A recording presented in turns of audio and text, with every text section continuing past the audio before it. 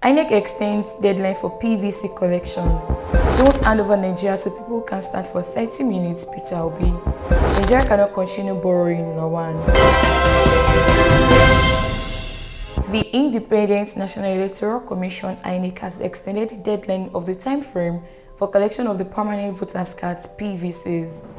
Recall that the Commission had earlier set January 22 as the deadline for the PVC collection, which commenced on December 12, 2022.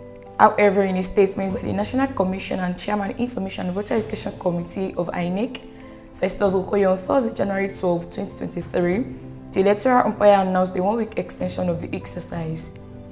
The decision was taken after the Commission's regular meeting where the ongoing collection of the PVCs and other issues were deliberated upon. Okoye explained that INEC was encouraged to move the deadline to January 29, 2023 following the impressive turnout of registered voters and the surge in the number of collected PVCs across the country.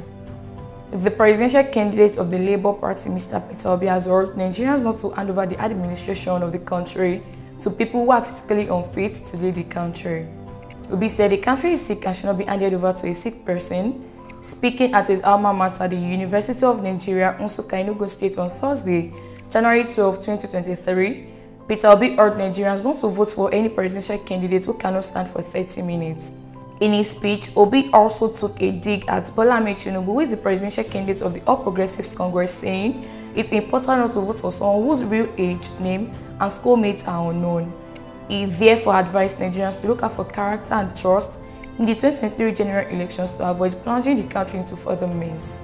The Senate President Ahmad Lawan has revealed that the upper legislative chamber will turn the heat on various revenue-generating agencies for adequate revenue to fund the implementation of the 21.8 trillion naira 2023 budget.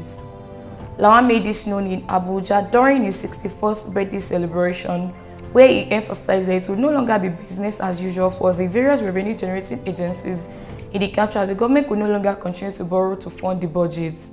He also noted that aside from the problem of insecurity which was being fought headlong by government at various levels, the lack of insufficient revenue for the execution of national development programs was another challenge that must be seriously tackled if the cycle of deficit budgeting or insistent borrowings must stop. The Senate President said the move became imperative due to leakages and loopholes in tax collection and remittances to the government amid revenue shortfalls and high debt profile in the country. He also added that the government would review the processes of granting corporate tax holidays, import duty waivers and concessions to investors and businesses in the federal government. Here are the headlines again. INEC extends deadline for PVC collection. Don't hand over Nigeria to people who can't stand for 30 minutes, Peter Obi.